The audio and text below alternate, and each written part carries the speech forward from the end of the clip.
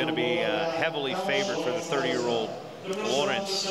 Again, Thomas ranked fifth in the world, recent champion at the Hungarian Grand Prix. That is one of the Golden Grand Prix events.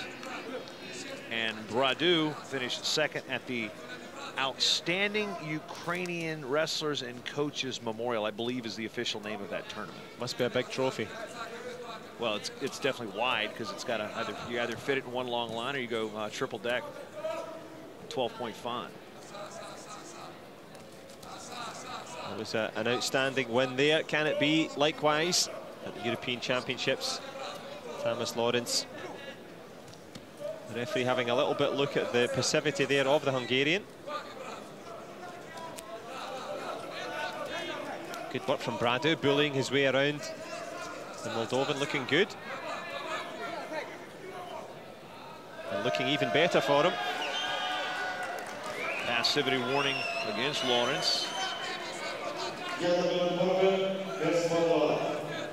In case you're geographically challenged, Moldova, former Soviet Republic, crammed in between Ukraine and Romania down by the Black Sea, that particular region. Technically landlocked, although there is a river that runs to it.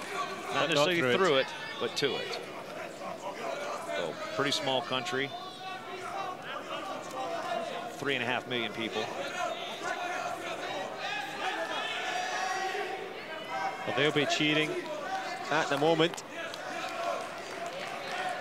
to try and support Bradu because he's a point down now against Lorincz. Going to form at the moment as we reach into the latter stages of this opening period. A little referee hand jive there just to say no finger locking on the inside.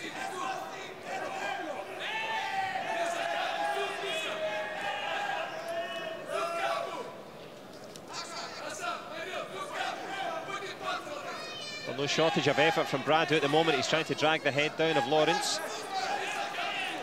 Not getting any control though, and the referee not happy with the work of the Moldovan. The hand goes up again.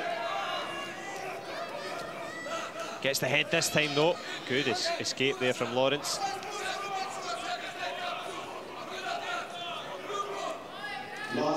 Well, it could be all over for the man from Moldova.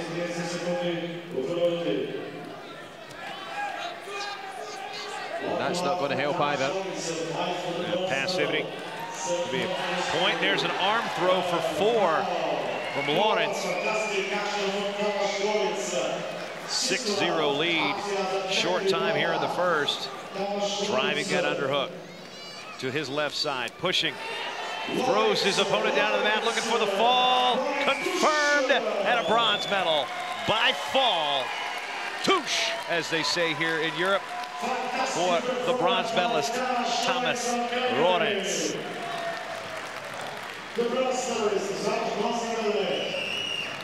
Well, Lorincz leads the charge there. What a way to win the bronze medal. Comprehensive, top class. We saw a little bit of everything in there. The strength and the intensity, plus the big throws. And he seals it all with a win by fall. Well, you said he was the favourite coming in.